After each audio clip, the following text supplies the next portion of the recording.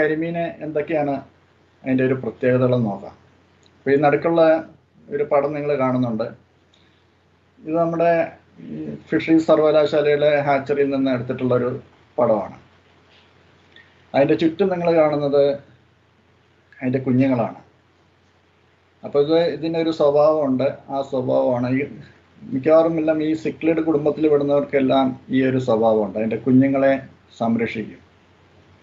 അപ്പോൾ ആ ഒരു പ്രത്യേകതയാണ് നമ്മൾ ഇതിനകത്ത് കാണുന്നത്. ഇതിൽ കൂടുതൽ ബാക്കി കാര്യങ്ങളൊക്കെ നമ്മൾ ഓൾറെഡി നമ്മൾ പറഞ്ഞു കഴിഞ്ഞു. സംസ്ഥാന മത്സ്യമാണ്. അപ്പോൾ തീർച്ചയായിട്ടും നമ്മുടെ സംസ്ഥാനം അറിയിക്കുന്ന പ്രാധാന്യം നൽകണം. നമ്മുടെ നയങ്ങളിലും ഇത് വരണം. അപ്പോൾ ഫിഷറീസ് നയങ്ങളൊക്കെ ഉള്ളതിൽ തന്നെ ഒരു പ്രധാന പങ്ക് കരിമീനിന് കൊടുക്കേണ്ടതാണ്. നമ്മുടെ ജലകൃഷിയിലെ ഒരു പങ്ക് കൊടുക്കണം. പക്ഷെ നമ്മൾ പലപ്പോഴും നമ്മളതിനെ അത്ര പരിഗണിച്ചിട്ടില്ല. കാരണം കരിമീൻ വളരത്തില്ല. കാരണം ജലകൃഷി എന്ന് പറഞ്ഞാൽ കർഷകന് വരുമാനം ഉണ്ടാവണം. അപ്പോൾ ഈ ഒരു മത്സ്യം ഇട്ട് കഴിഞ്ഞാൽ അത് കർഷകന് അത്ര ലാഭകരമല്ല എന്നുള്ളൊരു ധാരണ നമുക്കുണ്ട്. ശരിയാണ് കുറച്ച് പറഞ്ഞാൽ ശരിയായിരുന്നു.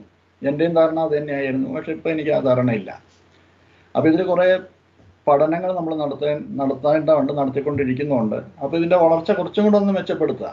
ഇപ്പം മെച്ചപ്പെടുത്തിയിട്ടില്ല എന്നെങ്കിൽ പോലും ഇപ്പോഴും അതൊരു നഷ്ടമല്ല. അതിന്റെ രീതി നമ്മളൊന്ന് മാറ്റണം. നമ്മളിപ്പോൾ ചെയ്യുന്ന രീതി ശരിക്കും ഒരു കരിമീൻ വളർത്താൻ പറ്റിയ രീതിയാണെന്ന് ചോദിച്ചാൽ അല്ല എന്നാൽ ചില രീതികൾ കറക്റ്റാണ് കറക്റ്റായിട്ട് നമ്മൾ ചെയ്യുന്നുണ്ട്. അതാണ് നമ്മുടെ കൂട് കൃഷിയിൽ നമ്മൾ ചെയ്യുന്നത്.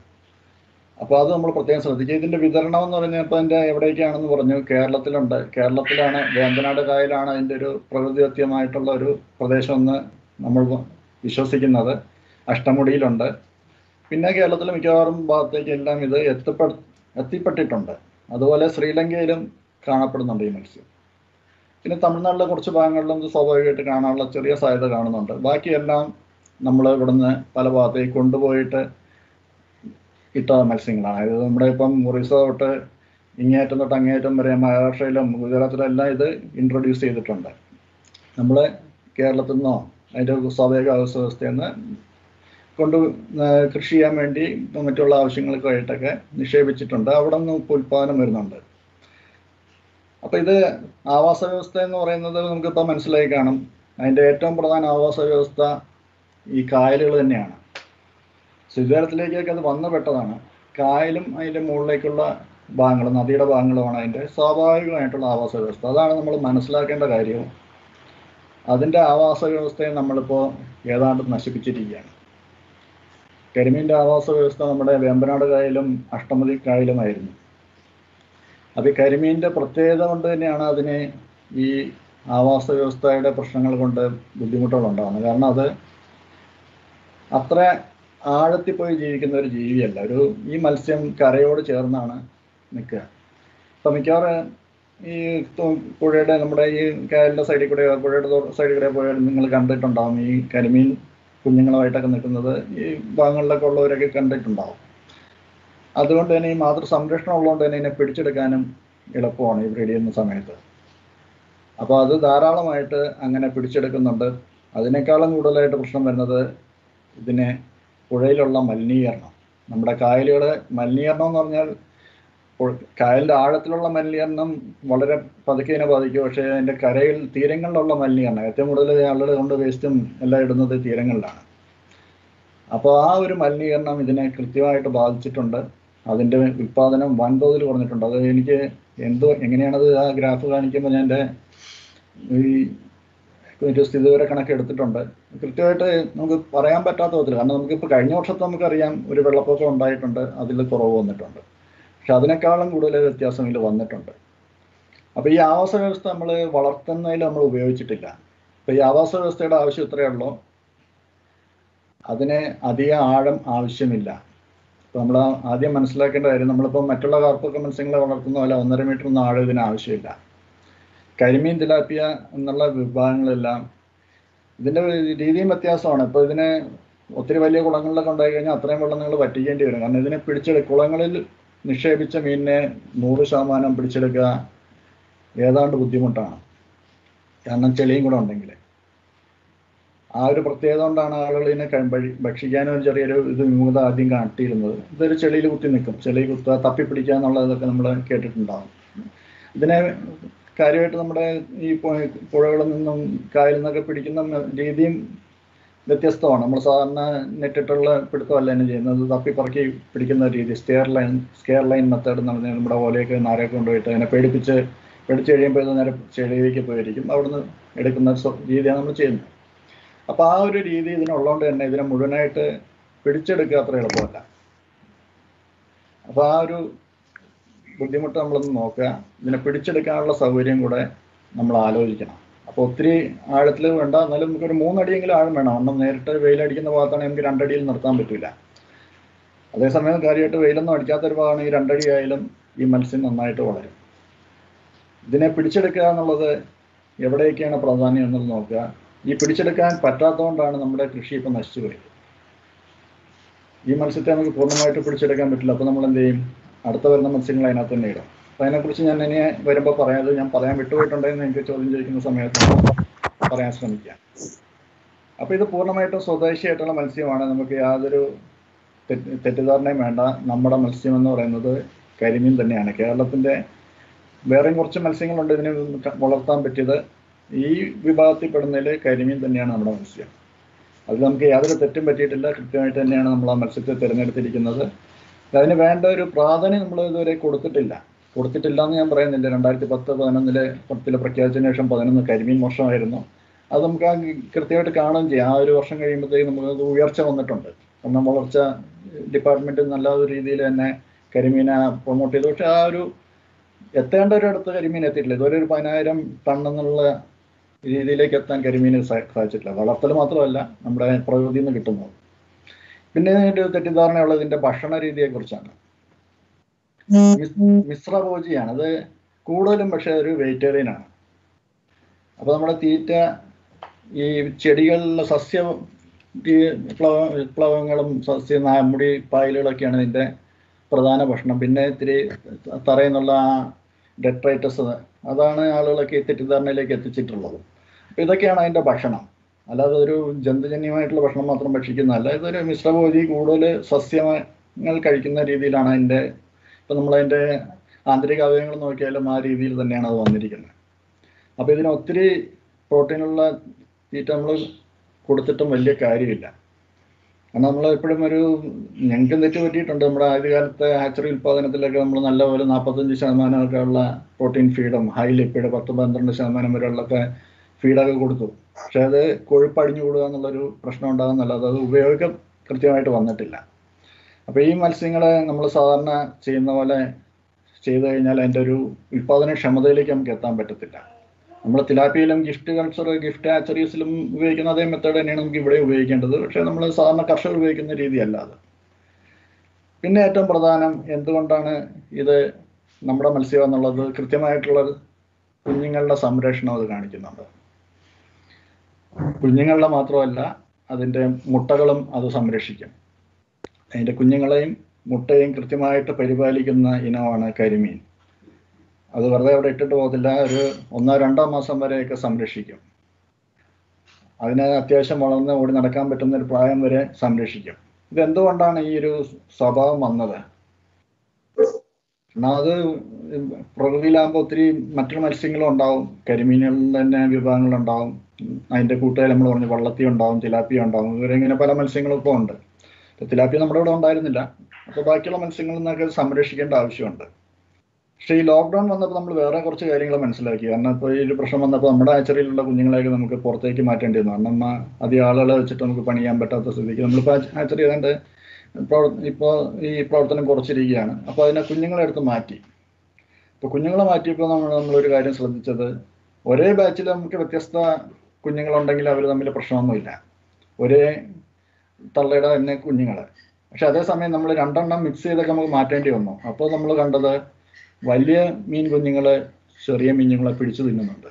നമ്മളൊട്ടും പ്രതീക്ഷിച്ചല്ല ഇത്രയും സംരക്ഷണമൊക്കെ ഉള്ള ഒരു മത്സ്യത്തിൽ ഇങ്ങനെ പിടിച്ചു തിന്നുന്ന ഒരു സ്വഭാവം ഉണ്ടാകുന്നത് അപ്പോൾ പകുതിയിൽ കൂടുതൽ വലിപ്പമുള്ള മത്സ്യം വേറെ ഈ തള്ള മത്സ്യത്തിന്റെ അല്ലെങ്കിൽ വിത്ത് മത്സ്യത്തിന്റെ ആണെന്നുണ്ടെങ്കിൽ അത് പിടിച്ചു തിന്നുന്നൊരു സ്വഭാവം കാണിച്ചു. അത് അപ്രതീക്ഷിതമായിരുന്നു. പക്ഷേ അതുകൊണ്ടാണ് നമുക്ക് പ്രകൃതിയിൽ വളരെയധികം കുഞ്ഞുങ്ങളെ കിട്ടാത്തതെന്നുള്ളപ്പോൾ മനസ്സിലായി. അതുപോലെ തന്നെ വേറെ ഒന്ന് കണ്ടത് ഇതേ പ്രശ്നങ്ങൾ തന്നെ നമ്മൾ നമ്മുടെ പുറത്തെ ഹാച്ചറികൾ ടാങ്കുകളിലൊക്കെ ഉള്ള മത്സ്യങ്ങളെ ഇതുപോലെ നമുക്ക് മുട്ടയൊക്കെ എടുത്ത് മാറ്റേണ്ട സ്ഥിതി വന്നു. അപ്പോൾ മുട്ടയും കുഞ്ഞുങ്ങളെ നമ്മൾ ആദ്യം അടുത്ത് മാറ്റാതിരുന്നോണ്ട് കുഞ്ഞുങ്ങളുണ്ടായിരുന്നു. അപ്പോൾ ഈ കുഞ്ഞു ചെറിയ കുഞ്ഞുങ്ങളെന്താ അറിയാം. അധികം നീന്തോന്നുമില്ല അപ്പോൾ ഈ തള്ള മത്സ്യം നമ്മൾ അതിനെടുക്കാൻ പോകുമ്പോൾ തള്ള മത്സ്യം സ്വാഭാവികമായിട്ടും മാറും. അത് കഴിയുമ്പോഴത്തേക്കും മറ്റുള്ള മത്സ്യങ്ങൾ ഈ കുഞ്ഞുങ്ങളെ പിടിച്ച് തിന്നാം. കരിമീൻ തന്നെ.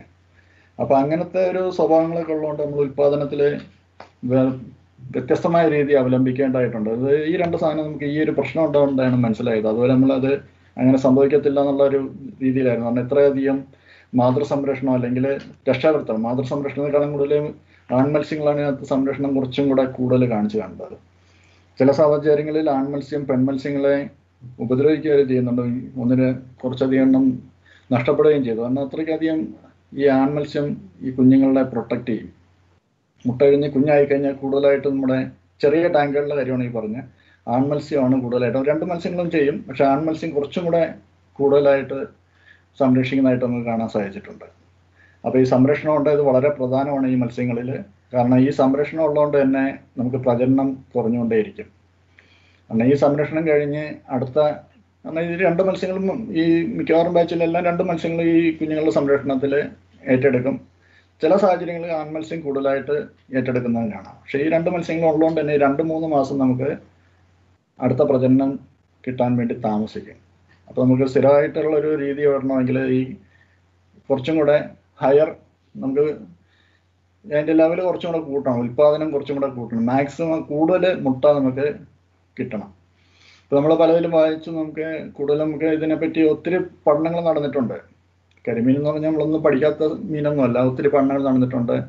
നമ്മുടെ കാർഷിക സർവകലാശാലയുടെ ഭാഗമായിരുന്ന കുമരകം സ്റ്റേഷനിലെ പത്മകുമാർ സാർ ഇതിലൊരു അറിയപ്പെടുന്ന ഒരു വിദഗ്ധനാണ്. അപ്പം ഞാൻ ഈ നമ്മുടെ ഒരു കേരള സംസ്ഥാനത്തിന്റെ ഒരു പ്രോ പ്രോജക്റ്റ് ചെയ്യുന്നുണ്ടായിരുന്നു പ്ലാൻ പ്രോജക്റ്റ് അത് ചെയ്യുന്നതിന് മുമ്പ് സാറിനായിട്ട് സംസാരിച്ചിട്ടാണ് ഇതിലേക്ക് ഇറങ്ങിയത് തന്നെ.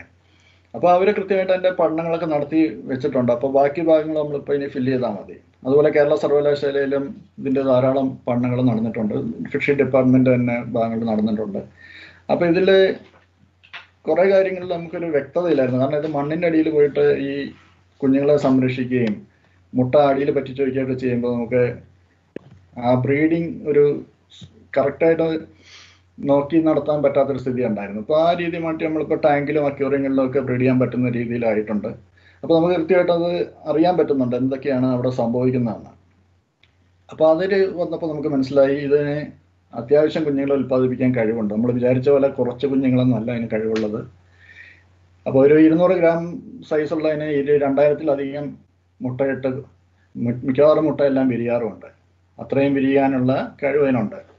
അപ്പോൾ ഈ അടുത്ത് ഞങ്ങൾക്ക് ഈ സമയത്ത് തന്നെ വേറൊരു ഇത് കിട്ടി. നമ്മളൊരു ഒന്ന് രണ്ട് ഇത്തിരി വലിയ ബ്രൂഡറെ മെയിന്റെയിൻ ചെയ്തിരുന്നു ബ്രീഡ് ചെയ്യിക്കാതെ നമ്മൾ മെയിന്റെയിൻ ചെയ്തിരുന്നതാണ്. അത് ഈ ഈ ഇപ്പോൾ സാഹചര്യം ഇപ്പം മാറിയോണ്ട് നമുക്ക് ഒത്തിരി എണ്ണത്തിന് ഒരു ടാങ്കിലിടാൻ പറ്റാത്ത സാഹചര്യം ആയതുകൊണ്ട് നമ്മൾ പേരിനെ മാറ്റിയിട്ടു.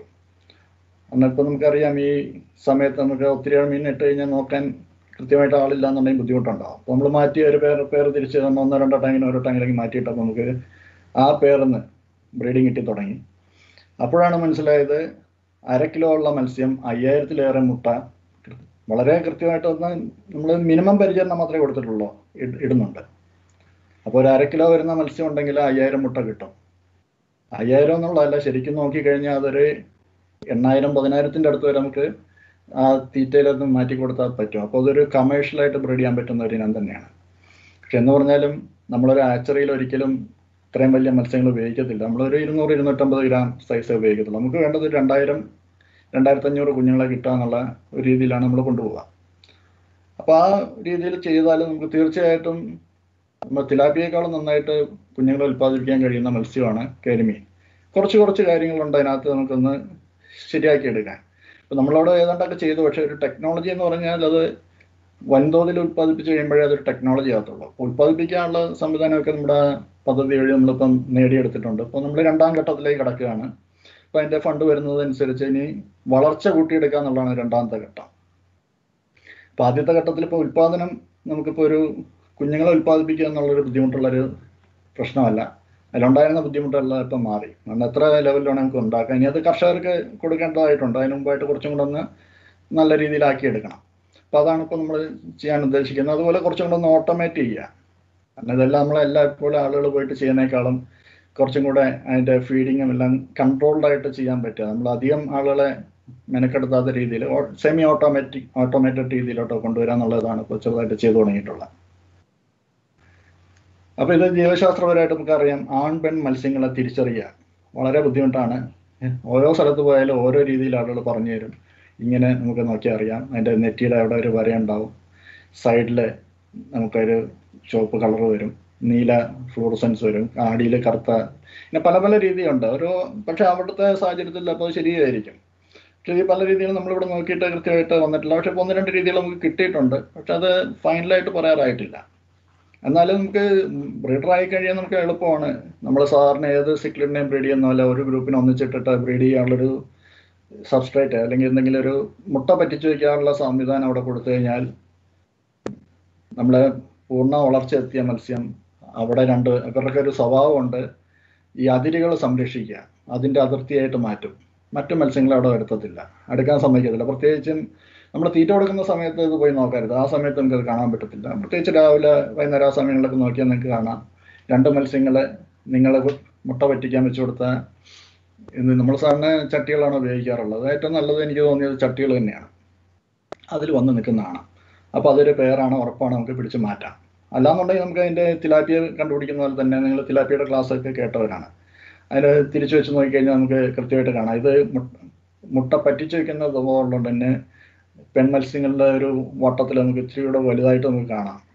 ഈ അതേസമയം ആൺമത്സ്യങ്ങൾക്ക് വളരെ നേർത്തതായിരിക്കും ആ ബീജം വരുന്ന ഭാഗം. അതുകൊണ്ട് നമുക്ക് പറയാം അപ്പോൾ അത് കുറച്ചും കൂടെ നമുക്ക് ഇതിന്റെ ഡീറ്റെയിൽ ആയിട്ട് നിങ്ങൾക്ക് ഇതിന്റെ ക്ലാസ്സുകൾ നിങ്ങൾക്ക് വരുന്നുണ്ട്. ഇതിന്റെ ബ്രീഡിങ് അപ്പോൾ അവർ കുറച്ചും കൂടെ കൃത്യമായിട്ട് പടങ്ങളൊക്കെ വെച്ച് നിങ്ങൾക്ക് കാണിച്ചു തരും. അപ്പോൾ എനിക്കത് അല്ല എന്റെ ഉദ്ദേശം എന്നുള്ളതുകൊണ്ട് ഞാൻ അതിലോട്ട് പോകുന്നില്ല. ഇതിന്റെ മെച്ചൂരിറ്റി വളരെ നമ്മൾ ആച്ചറിയിലൊക്കെ സമയത്തുള്ള ഒരു എട്ട് മാസം കൊണ്ട് തന്നെ ഇത് മെച്ചുറായിട്ട് കാണുന്നുണ്ട്. പത്ത് പതിനൊന്ന് മാസം നമുക്ക് നമ്മളിപ്പോൾ രണ്ട് മൂന്ന് തലമുറ അവിടെ ഉൽപ്പാദിപ്പിച്ചിട്ടുണ്ട്. ഓരോ തലമുറയിലും ഈ വളർച്ച ആദ്യം ഒരു പത്ത് പത്ത് മാസം ആകുമ്പോൾ തന്നെ ഇപ്പം നമുക്ക് അടുത്ത തലമുറ കിട്ടുന്ന ഇതുണ്ട്. അപ്പോൾ അത് തിലാപ്പിയ പോലെ തന്നെ ആയിട്ട് മാറ്റി എടുക്കാൻ പറ്റുന്ന ഒരു ഇനമാണ് കരിമീൻ. തീർച്ചയായിട്ടും നമ്മുടെ ഒരു തിലാപ്പിയാണ് കരിമീൻ എന്ന് പറയുന്നത്. അത് നമ്മൾ കൃത്യമായിട്ട് മനസ്സിലാക്കിയിട്ടില്ലെന്നേ ഉള്ളൂ. അപ്പോൾ അത് നമ്മളൊന്ന് മനസ്സിലാക്കി എടുത്തു കഴിഞ്ഞാൽ തീർച്ചയായിട്ടും കേരളത്തിലെ തിലാപ്പിയുടെ ഉൽപ്പാദനം പോലെ തന്നെ കരിമീന്റെ ഉൽപ്പാദനം വരും. അതെന്തുകൊണ്ട് വരും എന്നുള്ളത് ഞാൻ ഈ പ്രസന്റേഷൻ തീരുന്നതിന് മുമ്പായിട്ട് കാണിക്കാം. ഇനി ആൺപെൺ വ്യത്യാസം പറഞ്ഞു. മുട്ട ഉൽപ്പാദനം തീർച്ചയായിട്ടും യാതൊരു ബുദ്ധിമുട്ടും ഇല്ലാതെ അത്യാവശ്യം നന്നായിട്ട് മുട്ടയിടും. അതിൽ നമ്മൾ ചെയ്യാതിരുന്ന ഒരു കാര്യം ഈ മുട്ട എങ്ങനെ കൂട്ടാം എന്നുള്ളതാണ്. മുട്ട ശരിക്കും ഏത് സിക്ലിടായാലും ഇപ്പോൾ ഒരു ഏഞ്ചൽ മീനിനായിട്ടാലും മുട്ടയിടും കുഞ്ഞുങ്ങളെ സംരക്ഷിക്കും. ഈ രണ്ടും അത് കാണിക്കും. അപ്പൊ ഈ ഇട്ട മുട്ട നമ്മൾ ഉടൻ തന്നെ പിടിച്ച് മാറ്റുക. മുട്ട ഇട്ട് കഴിഞ്ഞ് അതിന്റെ ഫെർട്ടിലൈസേഷൻ അതിന്റെ ബീജസങ്കലനം നടന്നു കഴിഞ്ഞാൽ ആ മുട്ടയെ മാറ്റിയിട്ട് വേറൊരു സബ്സ്ട്രേറ്റ് അവിടെ വെച്ച് കൊടുക്കുക. നമുക്ക് സാധാരണ കിട്ടാറുള്ളത് രണ്ടാഴ്ച ചില അതിന് മുമ്പ് വരാറുണ്ട് എന്നാലും മാസത്തിൽ ഒരെണ്ണമെങ്കിൽ ഏറ്റവും കുറഞ്ഞത് നിങ്ങൾക്ക് മുട്ട കിട്ടിക്കൊണ്ടേയിരിക്കും. അതേസമയം നമുക്ക് രണ്ടാ രണ്ടാവണയൊക്കെ മുട്ടയിടാനുള്ള കഴിവുണ്ട്. നമ്മൾ എത്രത്തോളം നല്ല ബ്രൂഡറാണ് ഉപയോഗിക്കുന്നത് അനുസരിച്ച് ഏറ്റവും ചെറിയ ഒന്നെങ്കിലും നോക്കാം നമുക്ക് രണ്ട് തീർച്ചയായിട്ടും കിട്ടും. അതിൽ കൂടുതലും കിട്ടുന്നുണ്ട് ചില ബാച്ചുകളിൽ. അതൊന്നും കൂടെ സ്റ്റാൻഡൈസ് ചെയ്തെടുക്കാണ്ട് അപ്പോൾ മുട്ടയിൽ ഒരു പ്രശ്നമില്ല. അതിൽ രണ്ടാമത്തെ പ്രശ്നമാണ് മുട്ട നമുക്ക് വിരിയിച്ചെടുക്കാം ഇതിലെ ടെക്നോളജി എന്ന് പറയുന്നത് ഈ ഇട്ടമുട്ട നമ്മൾ മാറ്റി വെച്ചിട്ട് നൂറ് ശതമാനം വിജയി വിരിയിപ്പിച്ചെടുക്കുക എന്നുള്ളതാണ്. അപ്പോൾ ആ ഒരു ടെക്നോളജിയാണ് നമ്മുടെ ഫിഷറീസ് സർവകലാശാല ഇപ്പം നേടിയെടുത്തിരിക്കുന്നത്. അത് വളരെ പ്രധാനമാണ്. കാരണം എത്ര നമുക്ക് ഉൽപാദനത്തിന് ഇപ്പം നമുക്കൊരു ലിമിറ്റ് ഇല്ല കാരണം എപ്പോഴും വേണമെങ്കിലും നമുക്ക് മുട്ട കിട്ടിക്കൊണ്ടേയിരിക്കും. ഒരു മാസം തന്നെ പത്തും മുപ്പതും നാൽപ്പതും ബാച്ചുകൾ നമുക്ക് കിട്ടാറുണ്ട്. ഒരു ടാങ്കിൽ നിന്ന് മാത്രം. ചെറിയ ടാങ്കിൽ ഉദ്ദേശിച്ചത് വലിയ ടാങ്ക്. ഒരു മുപ്പതോളം പേര് ഇരുപത് വേറെ ബ്രീഡിംഗ് പേരുള്ള ടാങ്കിൽ നിന്ന് അത്രയധികം നമുക്ക് കിട്ടും. അപ്പോൾ അതിൽ ഒരു രണ്ടായിരം മുട്ട വെച്ചെങ്കിലും കിട്ടുകയാണെങ്കിൽ നമുക്ക് ഈ ഒരു ഉൽപാദനം ഒരു പ്രശ്നമായിട്ട് വരത്തില്ല. അപ്പോൾ ഇതിൽ പ്രശ്നം വരുന്നത് എവിടെയാണെന്ന് പറഞ്ഞാൽ ഇതിന്റെ കുഞ്ഞുങ്ങളെ വളർത്തിയെടുത്ത് പിന്നെ ഇത് വളർത്തുക. പിന്നെ അത് എല്ലാ ബാച്ചുകളും നമുക്ക് വേറെ വേറെ തന്നെയായിട്ട് വളർത്തി എടുക്കണം. എന്നാൽ അത് അത്ര എളുപ്പമല്ല. കാരണം അത്രയധികം തീറ്റ നമുക്ക് ആവശ്യം ജീവനുള്ള തീറ്റ ആവശ്യമായിട്ട് വരും. ഇത് വളർത്തുന്ന രീതിയിലും നമ്മൾ ചില പ്രശ്നങ്ങൾ ഇതിനകത്ത് കാണാറുണ്ട്. കാരണം ഇത് ശുദ്ധജലത്തിലും നമുക്ക് വളർത്താം കുഞ്ഞുങ്ങളെ ഉപ്പുവെള്ളത്തിലും വളർത്താം. ഇപ്പം നമ്മുടെ ആച്ചറിയിൽ തന്നെ പലരും ചിലപ്പോൾ ഇത് കേൾക്കുന്നവർ കൊണ്ടുപോയിട്ടുണ്ടാവും കുഞ്ഞുങ്ങളെ കൊണ്ടുപോകാറുണ്ട്. എന്നിട്ട് വളരെ കുറച്ച് പേര് പറയാറുണ്ട് ഈ കുഞ്ഞുങ്ങളൊക്കെ ഇട്ടതിൽ പകുതിയോളാണ് ചത്തുപോയി. അതായത് കൊണ്ടുപോയി ഇട്ട് കഴിഞ്ഞ് അടുത്ത ദിവസം രാവിലെ നോക്കിയപ്പോൾ അത്രയും മീനുകളൊന്നും കാണുന്നില്ല. തീർച്ചയായിട്ടും പ്രശ്നം ഉണ്ടാവും നമ്മുടെ തിലാപ്പിയ ഇപ്പം നമുക്കറിയാം നമ്മുടെ ഹാച്ചറികളിൽ നിന്ന് കൂടുതൽ പുറത്തുനിന്നാണ് വരുന്നത്. ആ കൊണ്ടുവരുന്ന മത്സ്യമല്ല ഇവിടെ വളർന്നിരുന്നെങ്കിൽ കേരളത്തിലെ ഉൽപാദനം എന്ന് പറഞ്ഞാൽ നമ്മൾ പ്രതീക്ഷിക്കുന്ന ലെവലിലൊന്നും ആയിരുന്നേക്കില്ല പക്ഷേ കൊണ്ടുവരുന്നതിൽ ബഹുഭൂരിപക്ഷവും പറഞ്ഞ ഒരു എൺപത് ശതമാനത്തിലധികം നശിച്ചു പോകുന്നുണ്ട്. അപ്പോൾ അത് കൊണ്ട് അവിടുന്ന് വിട്ടവരുടെ കുഴപ്പമായിരിക്കില്ല. ഇപ്പം ബംഗ്ലാദേശിൽ നിന്ന് വരുന്നു എന്നുള്ളതാണ് നമ്മുടെ ഒരു കൺസെപ്റ്റ് പക്ഷേ ബംഗ്ലാദേശ് തിലാപ്പി ഉൽപ്പാദനത്തിൽ നമ്മളെക്കാളും വളരെ ബഹുദൂരം മുമ്പിലാണ്. അവിടുത്തെ പ്രശ്നമല്ല. അപ്പോൾ അത് ഇടനിലക്കാരെന്തൊക്കെയോ പ്രശ്നങ്ങൾ അതിനകത്ത് ചെയ്യുന്നുണ്ട്. ചിലതൊക്കെ അവിടുത്തെ എന്ന് പറഞ്ഞിട്ട് വേറെ പലത്ത് ഭാഗത്തുനിന്നും വരുന്നുണ്ടാവാം അപ്പൊ ആ കുഞ്ഞുങ്ങൾ വന്നു കഴിഞ്ഞാൽ അതിന് എങ്ങനെ അതിന്റെ ക്ലാസ്സിൽ നിന്നൊക്കെ വരുന്നുണ്ട്. നിക്ഷേപിക്കണം എന്നുള്ളത് വളരെ പ്രധാനമാണ്. നിങ്ങളുടെ കൃഷിയിലെ ഒരു അമ്പത് ശതമാനം വിജയിക്കുന്നത് നിങ്ങൾ ഈ കുഞ്ഞുങ്ങളെ എങ്ങനെ നിക്ഷേപിക്കുന്നു എന്നതിലാണ്. നമ്മൾ ഒട്ടും പ്രാധാന്യത്തോടെ കാണുന്ന ഒരു വിഷയമല്ല. നിങ്ങൾ പഠിച്ചപ്പോഴും അതൊരു വിഷയമല്ല. വളരെ നിസ്സാരം നമ്മൾ കൊണ്ടുവരുന്നു. കവറിലുള്ള മീനുകളിലൊക്കെ ജീവനുണ്ടോ നോക്കുന്നു. നേരെ എടുത്ത് നമ്മുടെ കുളത്തിലോ ടാങ്കുകളിലോ എവിടെയെങ്കിലും ഇടുന്നു. അരമണിക്കൂർ ഇട്ട് കഴിഞ്ഞാൽ അതിന്റെ താപനില ഏതാണ്ട് ക്രമീകരിക്കുന്നു. അക്ലിമേഷൻ എന്ന പ്രോസസ്സ് അത് കഴിഞ്ഞാൽ നമ്മൾ പതുക്കെ അത് തുറക്കുന്നു. ഇതിൽ നിന്നുള്ള കുറച്ച് വെള്ളം അതിലോട്ട് ഒഴിക്കുന്നു. അതിൽ നിന്നുള്ള കുറച്ച് വെള്ളം ഇതിലോട്ട് ഒഴിക്കുന്നു. അങ്ങനെയുള്ള ഇത് കഴിയുമ്പോഴത്തേക്ക് ഒരു മണിക്കൂറിനകം സംഭവം എല്ലാം ചിലപ്പോൾ മിക്കവാറുമൊക്കെ അത്രയും പോലും സമയം എടുക്കാറില്ല. ഒരു പത്ത് മിനിറ്റിനകം അല്ലെ അഞ്ച് മിനിറ്റിനകം ചിലപ്പോൾ ഒരു മിനിറ്റിനകം തന്നെ സാധനത്തിനെല്ലാം കൂടെ കുളത്തിലേക്കോ ടാങ്കുകളിലേക്കോ ഇടും. ഒരു കാരണവശാലും നിങ്ങളത് ചെയ്യരുത്. അങ്ങനെ ചെയ്തു കഴിഞ്ഞാൽ ഈ കൊണ്ടുവരുന്ന വെള്ളത്തിലുള്ള രോഗാണുക്കളുണ്ടാവാം. മീനുകളിലുണ്ടാവാം അതിനെയൊക്കെ എന്തൊക്കെ ചെയ്യണമെന്നുള്ള നിങ്ങളുടെ ക്ലാസ്സുകളിൽ പറഞ്ഞു തരും. അത് നമ്മുടെ കുളങ്ങളിലേക്കോ ടാങ്കുകളിലേക്കോ ഒരു കാരണവശാലും കൊണ്ടുവരരുത്. പിന്നെ ചെയ്യേണ്ട ഒരു കാര്യം ഈ സാധനങ്ങൾ നേരിട്ട് ഇറക്കുന്നതിന് പകരം വേറൊരു ടാങ്ക് ഇതിനു വേണ്ടി മാറ്റി വയ്ക്കുക. ഹാപ്പയിൽ ഞാൻ സജസ്റ്റ് ചെയ്യത്തില്ല. നമ്മുടെ വളർത്തുന്ന സാധനത്തിലെ ആപ്പിലേക്ക് ഒരിക്കലും ഈ വെള്ളം കൊണ്ടൊഴിക്കരുത് അതിനുവേണ്ടി സംവിധാനങ്ങൾ വേറെ ഉണ്ടാക്കുക ഈ വെള്ളം അതിനേക്ക് ഒഴിക്കുക. കാരണം ഇതിൽ ഏറ്റവും പ്രധാനം ചാ താപനിലയല്ല ബാക്കി എല്ലാ വെള്ളത്തിന്റെ പാരാമീറ്റേഴ്സും എല്ലാ ജലത്തിലെ ഘടകങ്ങളും മാറ്റം വരുന്നുണ്ട്. അമോണിയ ഉണ്ടാവും അമോണിയ ചില പി എച്ചിൽ ടോക്സിക് ആയിരിക്കില്ല ചില ടോക്സിക് ആയിരിക്കും. ഇതിന്റെയൊക്കെ എഫക്റ്റ് വരുന്നതിൽ ഒരാഴ്ച മുതൽ രണ്ടാഴ്ച കൊണ്ട് നിങ്ങളിത് അറിയത്തുള്ളൂ. ഓരോ ദിവസം ഓരോന്നിലൊന്നൊക്കെ ഇട്ടേച്ചാവും പക്ഷേ ഇത് ആ ഒരു പ്രശ്നം ഉണ്ടായിട്ടുണ്ടെങ്കിൽ രണ്ടാഴ്ചക്കകം നിങ്ങളുടെ ഭൂരിഭാഗം മീനുകൾ നഷ്ടപ്പെട്ടിരിക്കും. അപ്പോൾ അത് വളരെ പതുക്കെ തന്നെ നിങ്ങൾ ചെയ്യേണ്ട പ്രോസാണ് മിനിമം ഒരു രണ്ട് മൂന്ന് മണിക്കൂറെങ്കിലും എടുത്തിട്ടേ നിങ്ങൾ ഈ പ്രോ പരിപാടി ചെയ്യാവൂ. വളരെ പതുക്കെ വെള്ളം മാറ്റുക. തന്നെ നമ്മൾ ചെയ്യേണ്ട രീതി നമുക്ക് പക്ഷേ പലർക്കും ആ സംവിധാനം ഉണ്ടാകത്തില്ല. ഒരു വലിയൊരു ടാങ്ക് അതിനുവേണ്ടി മാറ്റി വയ്ക്കുക. ഈ കൊണ്ടുവന്ന വെള്ളത്തോടുകൂടെ അതിനകത്ത് ഒഴിക്കുക. വളരെ കുറച്ച് വെള്ളം വീഴുന്ന രീതിയിൽ സെറ്റ് ചെയ്ത് നമ്മുടെ കുളത്തിലെ വെള്ളം ഈ നമ്മൾ കൊണ്ടുവന്നിടുന്ന റിസീവിങ് ടാങ്ക് എന്ന് പറയും. നമ്മുടെ കുഞ്ഞുങ്ങളെ ഇടേണ്ട വെള്ളത്തിലേക്ക് ഇടുക ഒരു മൂന്ന് മണിക്കൂർ അല്ലെങ്കിൽ നമുക്ക് ഒരു ദിവസം എടുക്കുകയാണെങ്കിൽ അത്രയും നല്ലത്. ഏറ്റവും പതുക്കെ ആയിരിക്കണം ഈ വെള്ളത്തിന്റെ മാറ്റം വരേണ്ടത്. ഇനീഷ്യൽ സ്റ്റേജിൽ ഏറ്റവും പതുക്കെ വെള്ളം മാറ്റി കഴിഞ്ഞാൽ മാത്രമേ നിങ്ങളുടെ മീന് കൃത്യമായിട്ട് ആ ആവാസ വ്യവസ്ഥയായിട്ട് ഇണങ്ങുകയുള്ളൂ. നമ്മൾ ശ്രദ്ധിക്കേണ്ട ഒരു കാര്യം തന്നെയാണ്. അത് ശ്രദ്ധിക്കാത്തതുകൊണ്ടാണ് നമുക്ക് നഷ്ടം വരുന്നത്. അപ്പോൾ ഈ കുഞ്ഞുങ്ങളെ ഇട്ട് കഴിഞ്ഞാൽ കുറേ ചത്ത് അത് കഴിഞ്ഞ് നമ്മൾ എന്താ ചെയ്യുക അടുത്ത കുഞ്ഞുങ്ങളെ എടുക്കും കൊണ്ടിടും അപ്പോൾ ഇത് കുറേ എണ്ണം ഇട്ടത് രണ്ടാഴ്ച ആയിരിക്കും അതേ സൈസ് ആയിരിക്കില്ല പിന്നെ കിട്ടുന്നത്. അതിനെയും കൊണ്ട് ഇതിനകത്ത് തന്നെ ഇടും. അവസാനം നോക്കുമ്പോൾ കുറേ പേർക്ക് വിജയിക്കും. നമ്മൾ എന്ത് കാര്യം ചെയ്താലും ഒരു അഞ്ച് ശതമാനം പത്ത് ശതമാനം പേർക്ക് നല്ല വിജയം ഉണ്ടാവും. പക്ഷെ അങ്ങനെ വിജയിച്ചാൽ പോരാ. അഞ്ച് ശതമാനം പത്ത് ശതമാനം പേർക്ക് പരാജയം ഉണ്ടാവോ? അത് നമുക്ക് ചില സാഹചര്യങ്ങൾ നമുക്ക് മാറ്റാൻ പറ്റുന്ന തരത്തില്ല. പക്ഷെ തൊണ്ണൂറ് ശതമാനം അല്ലെങ്കിൽ എൺപത് ശതമാനം പേരെങ്കിലും വിജയിച്ചിരിക്കണം അപ്പോൾ അതായിരിക്കണം നമ്മുടെ ലക്ഷ്യം. അതിനുവേണ്ടി ആദ്യം നിങ്ങൾ ചെയ്യേണ്ടത് കുഞ്ഞുങ്ങളെ എങ്ങനെ അത് കൃത്യമായിട്ട് നമ്മുടെ ക്ലാസ്സുകളിൽ പറഞ്ഞു തരും ശ്രദ്ധിക്കുക. അത് ശ്രദ്ധിക്കുക എന്നുള്ളതാണ് ഇതിലെ വിജയത്തിന്റെ ഏറ്റവും പ്രധാന ഘട്ടങ്ങളിലൊന്ന്. അത് നിങ്ങൾ ശ്രദ്ധിച്ച് തന്നെ കേൾക്കുക.